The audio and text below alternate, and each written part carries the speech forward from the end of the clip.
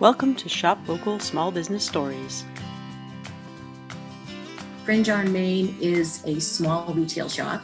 Um, we started it, I started it with my daughter about seven years ago.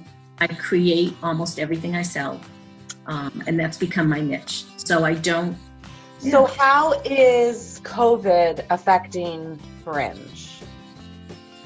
Um, it's actually affected Fringe ultimately in a positive way. Um, I've turned to social media, Yeah. and I'm more. You know, I've always posted on Facebook and Instagram, but um, I've developed more of a following since this has happened. And we've ended up donating over 500 masks, making a donating of 500 masks. Women I've never met before live. I still haven't met.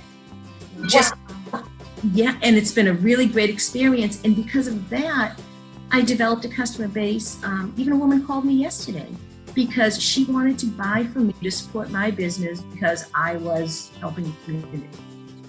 So that's as well. It's been really, really nice. I've met some really nice people.